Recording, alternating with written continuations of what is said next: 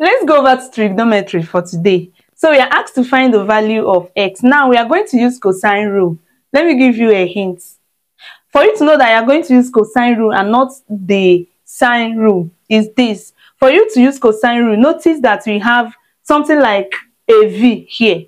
You have a V, there is an angle there given and you are given the sides as well. So whenever you see this sign, you have a V Eh, like a V, right? Yeah, you have a V, you have an angle given, and the two sides are given. The two sides subtending the angle are given as well. Go ahead and make use of your what? Your cosine rule to find your x. If if it is for sine rule, okay, let's leave that one. Let's just concentrate on what we have. So this is what is showing me that I should use my cosine rule to work on this. Now let's go ahead and solve the equation. Now, one thing that students find hard is how to memorize the cosine rule. It is actually very easy. Now, let me tell you how I know mine. You know that when you have your triangle, for example, this is what we have here.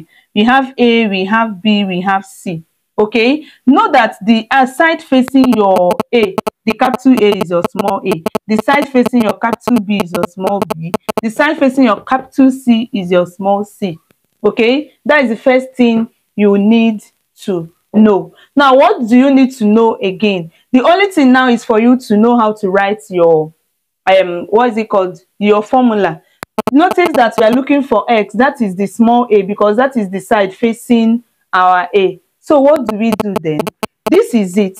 Your small a squared okay is going to be equal to now you are what? You are going to make use of just small b and c because you are looking for small a. Just see what i'm trying to say. You write your b squared plus c squared. That is because you are you are looking for side a. Just make use of your b and c. Minus 2bc notice that i'm still making use of my bc cos is now when you write cos because you are going to use the cosine rule. It's now when you write cos that you are going to bring in your a your capital A.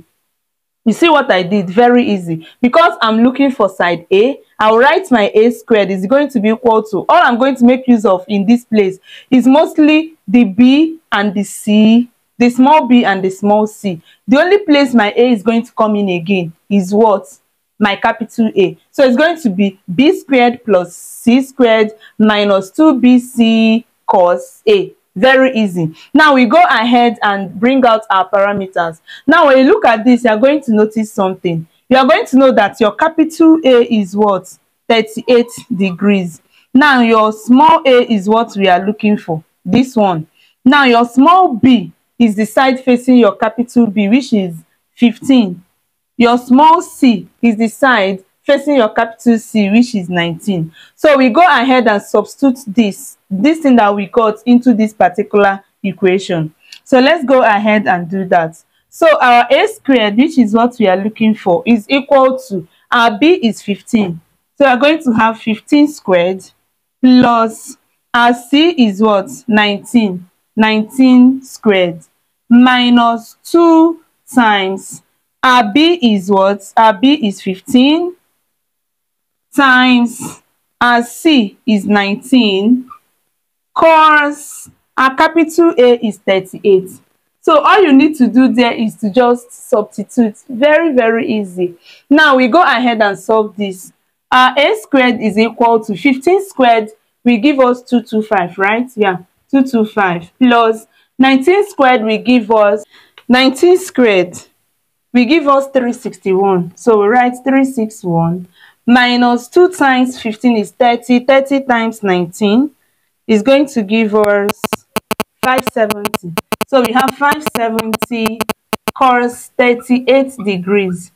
Okay, so we have a squared is going to be 225 plus 361 We give us 586 minus now 570 cos 38 if we should press that we are going to have 570 cos 38 we are going to have 449.1661 449.1661 i don't want to approximate yet okay? So my a squared is going to be equal to so we are going to have 586 minus 449 points.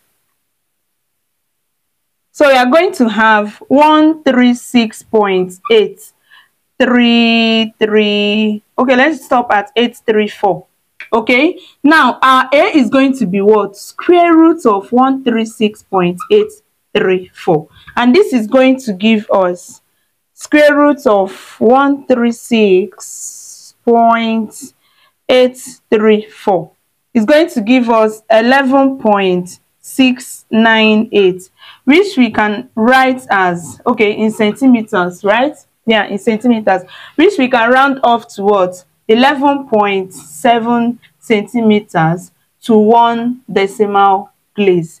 And this becomes our solution. Thank you so much for watching and i wish to see you next time. Bye